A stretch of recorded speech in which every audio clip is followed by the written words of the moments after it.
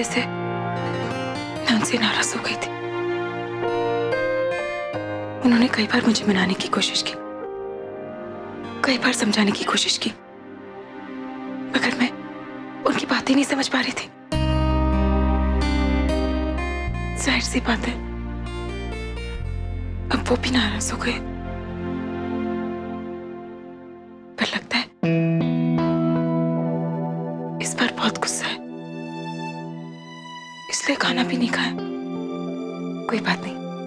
कल होली है ना, कल मैं उन्हें एक अच्छा सा सरप्राइज़ दूँगी, फिर सब ठीक हो जाएगा, है ना? हाँ कल सुबह को। हेलो, ये तो इतनी रात हो गई। अब मैं क्या करूँगी? अब इतना सारा काम मैं कैसे करूँगी? अब मैं क्या करूँ?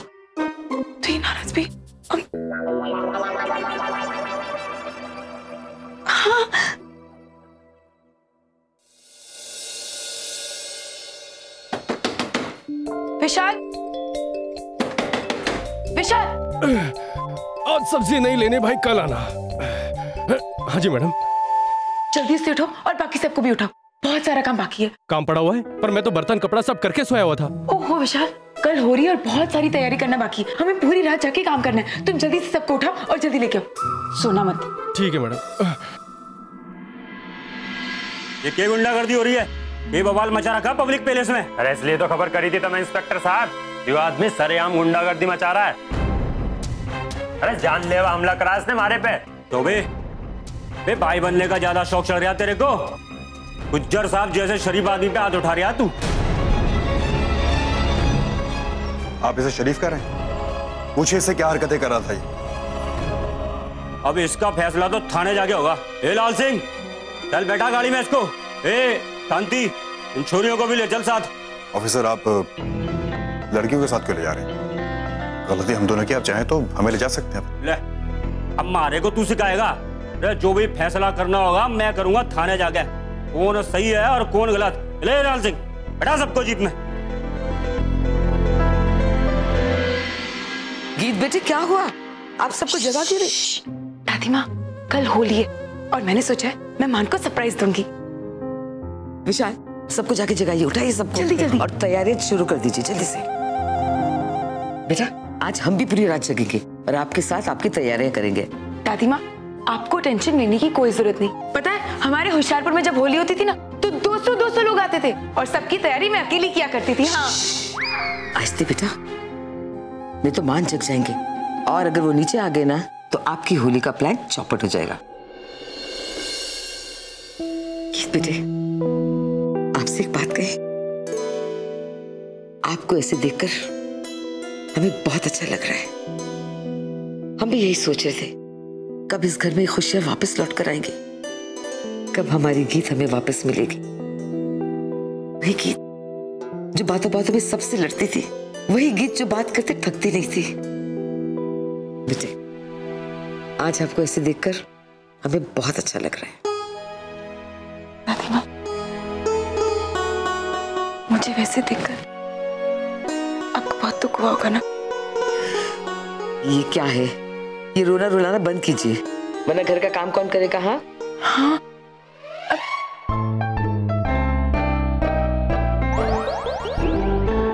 हेलो इनकी शक्ल तो देखो दादी माँ। विशाल सबसे पहले सबके लिए गरम गरम चाय बनाओ। हाँ हम काम फिर शुरू करेंगे।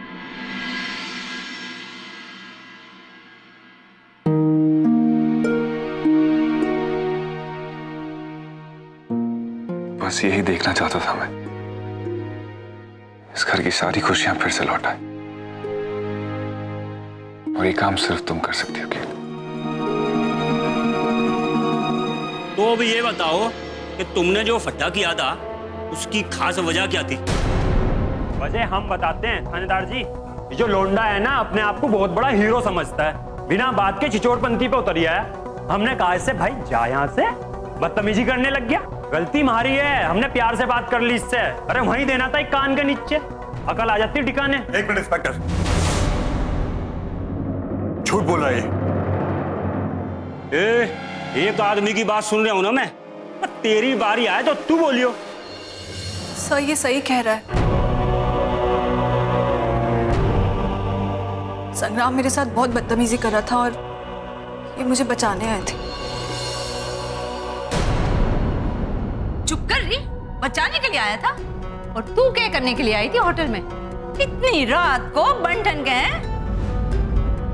इतनी रात को फुलझड़ी जैसे बन के निकलेगी तो लड़ाई या ना होगी तो और क्या होगा? पर आपसे सिर्फ़ इतना कह रही जबान बंद कर अपनी। ये सारे फसाद की जड़ तो तू ही है। मैं अच्छे से जानती हूँ आजकल की छोरियों को।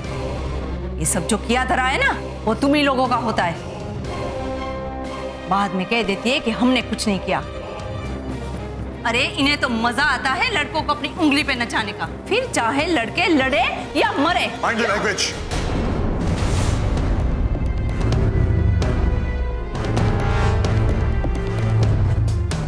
देखिए लड़ाई हम दोनों में हुई। है तो गलती भी हम लोगों की है। आपका काम इन्वेस्टिगेशन करने का है। बदतमीजी करने का नहीं। अबे इतनी गर्मी मत दिखा। बे ये थाना है थाना और उस थाने के थानेदार हैं हम। ए, एक रात इन सबको यहाँ रखो। तब कल ठिकाने आ जाएगी। और कल सुनते हैं इन दोनों की लव स्टोरी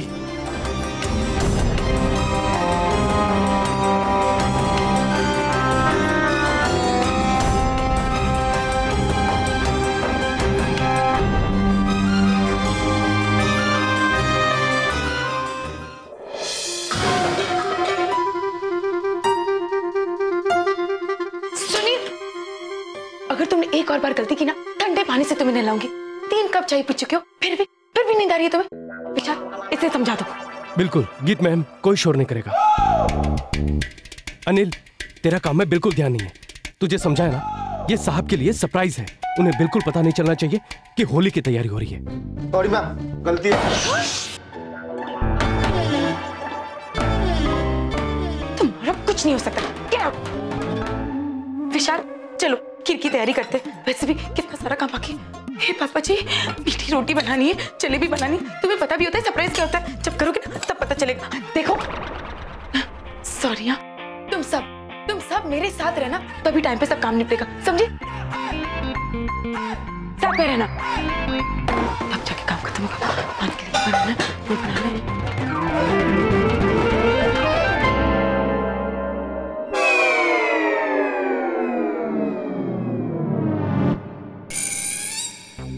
मैं तुमसे पूछी तुम लोग यहाँ क्या कर रहे हो? मैडम आपने ही तो कहा था आपके पीछे रहना। मेरे कहने का मतलब था मेरे साथ साथ रहो मतलब मेरे साथ साथ काम करो मेरे पीछे पीछे घूमने के लिए नहीं कहा था। जाओ काम करो। अक्ल के दुश्मन।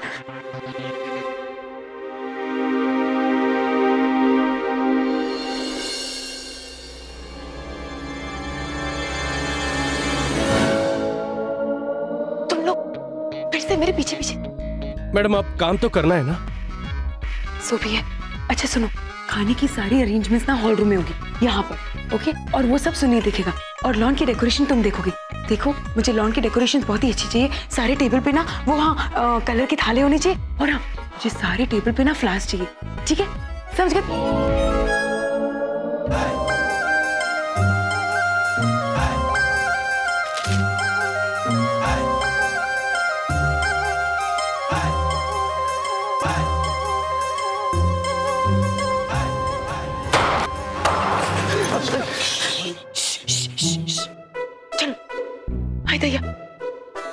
भूल ही गई। तुम सबको पता है मैं किस काम की बात कर रही हूँ। नहीं ना फॉलो मी मैं कुछ हेल्प करूँ दादी माँ ना बेटा थैंक यू सो मच आप तो सिर्फ़ ये दुआ कीजिए कि गीत हमेशा खुश रहे। बिल्कुल इस तरह। हम अभी आते हैं। देखते हैं किचन में क्या हो रहा है। जी।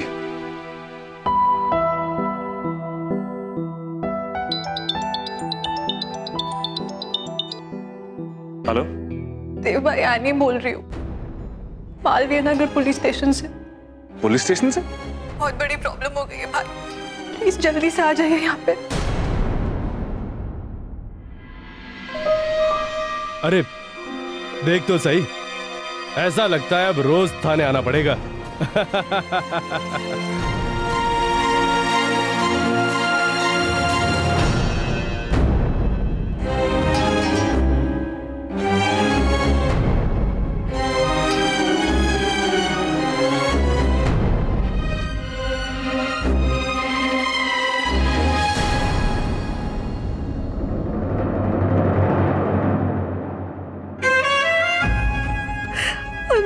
सॉरी अर्जुन प्लीज़ मुझे माफ़ कर दो।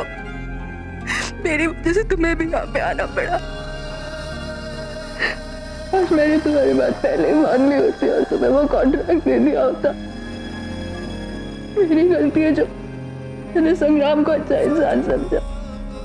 I'm so sorry, मुझे माफ़ कर दो।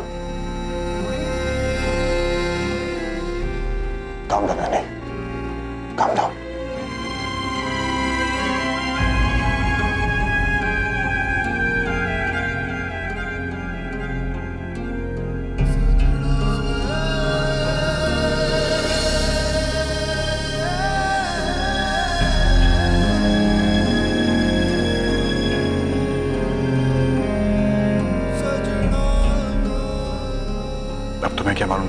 आदमी इस हद तक जा सकता है।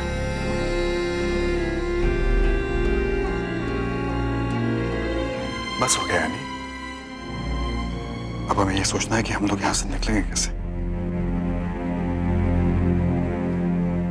मैंने घर पे इन्फॉर्म किया। मान भाई से तो बात नहीं कर सकती थी। इसलिए मैंने देव भाई को बोल दिया। वो बस आते ही होंगे।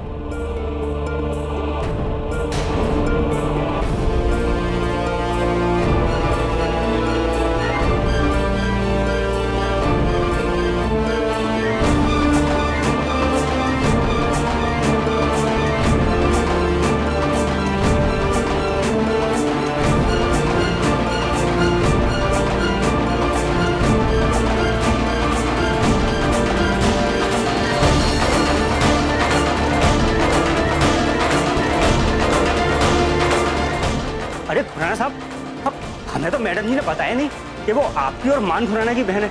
वरना हमारी क्या मजाल कि हम उन्हें यहाँ रखते मेरी बहन का है। अब जी अंदर।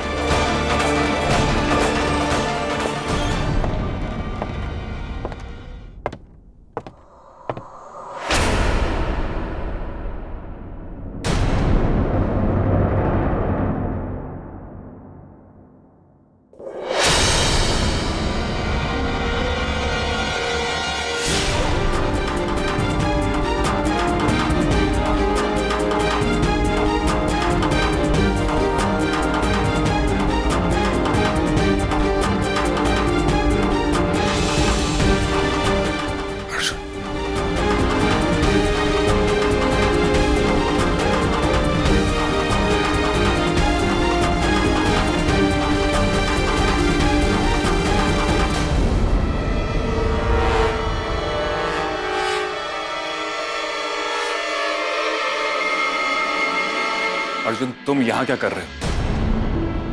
बस सर जी यही तो थे आपकी बहन जी के साथ।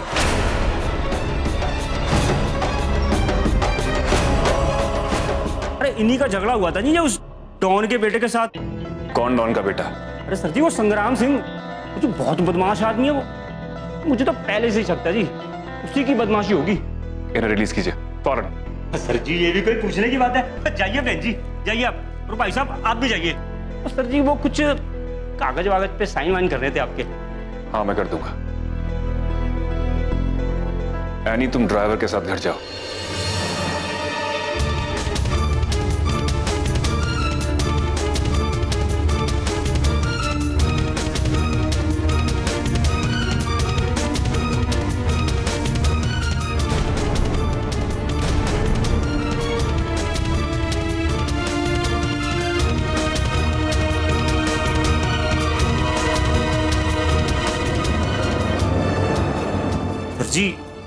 बात बोलूँ? बहन जी को बोलिए जी, अपना ख्याल रखें। भाई ऐसे गंदे लोग तो मिलते रहते हैं, सर जी। तो भला हो जी अर्जुन सिंह जी का, जो उनके साथ थे। पर ना कुछ भी गलत हो सकता था।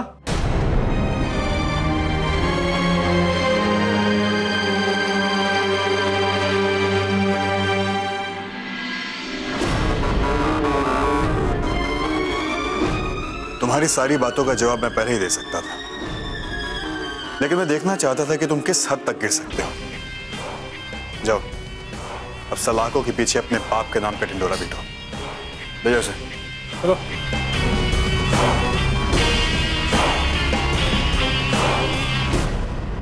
अर्जुन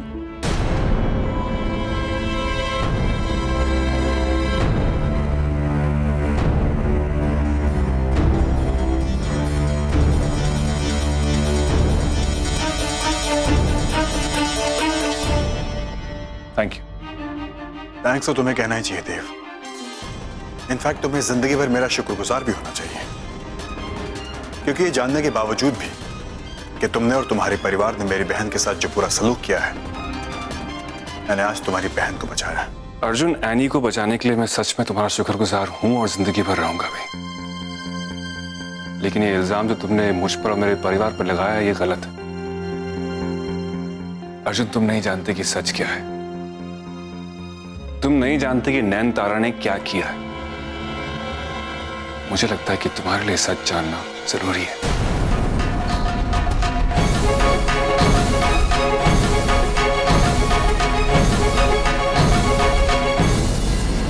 अर्जुन मेरी बात सुनो। मैं नयन तारा के खिलाफ एक लफ्ज भी नहीं सुनना चाहता देव। अर्जुन मैं नयन तारा के खिलाफ नहीं बोल रहा हूँ मैं तुम्हें सिर्फ़ सच बताना चाहता हूँ। आज अगर हमारा पूरा परिवार अलग है सब एक दूसरे से मुँह मोड़ के खड़े उसका जिम्मेदार कौन है? ये सवाल तुम मुझसे पूछ रहे हो देव? ये सवाल तो तुम्हें अपने आप से करना चाहिए। तुम्हारा अपना भाई जो तुम्हारी शक्ल तक नहीं देखना चाहता। तुम्हारा परिवार जो आज तक तुमसे नफरत करता है तुमने अपनी बीवी को धोखा दिया। क्या ठीक किया तुमने अपनी ज़िंदगी में? सही कहा तुम। इसका जवाब तुम्हें मुझसे ही मिलना चाहिए। और इसका जवाब मिलने से ही तुम्हारे मन की सारी गलतफहमियाँ दूर होंगी। अर्जुन, मैं नहीं जानता कि तुम नैनतारा के इस रुख से वाकिफ थे या नहीं। लेकिन असलियत यही कि ज़िंदगी में उसके लिए कुछ मायने रखता था तो वो था पैसा और ताकत। और आज जिस तरह तुम उसके खिलाफ कुछ नहीं सुनना चाहते, कभी मैं भी ऐसा था। दिन को रात कहती थी तो मैं मान लेता था। अर्जुन मेरी ज़िंदगी शुरू होती थी नैन तारा से और और खत्म भी उसी पर होती थी। इतना प्यार करता था मैं तुम्हारी बहन से। लेकिन उस वक्त तुम्हारी तरह मैं भी उसकी असलियत से वाकिफ नहीं था। और यही गलती हुई है मुझसे। नैन तारा के महँगे शौक पूरे करने के लिए मैं लोगों से उधार लेता चला गया। जब लोगों ने उधार देना बंद कर दिया तो उसके कहने पर पैसा कमाने के शॉर्टकट ढूँढने शुरू कर दिए मैंने। फिर मैं गुनाहों में ऐसा फंसता चला गया कि, कि सही और गलत का फ़र्क ही भूल गया। और एक दिन एक दिन मैं ऐसा गुनाह कर बैठा जिसके लिए मैं अपने आप को कभी माफ़ नहीं कर सकता।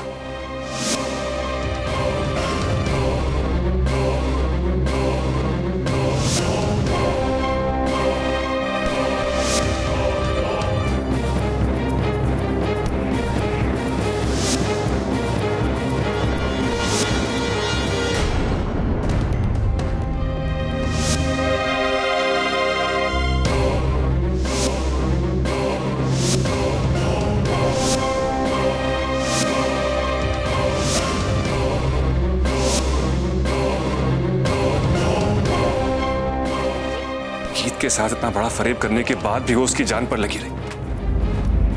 मैं तो अपने गुनाहों का बोझ उठाकर चला गया यहाँ से, लेकिन वो वापस आई। गीत को मारने के लिए।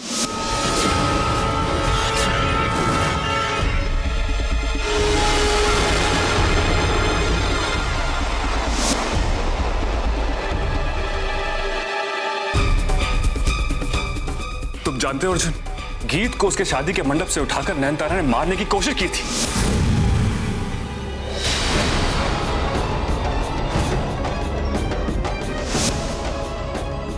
इसके पहले कि वो गीत पर गोली चलाए, ब्रो वहाँ पहुँच गए। गीत को बचाते हुए ब्रो का हाथ उसे लग गया और वो छत से गिर गया। तुम मान भाई और गीत के बारे में जो सब सोचते हो, ऐसा कुछ भी नहीं है, अर्जुन। और तुम्हें वही बताने आई। ताकि तुम्हारे मन में जो जहर घुला है ना उसको खत्म कर सको।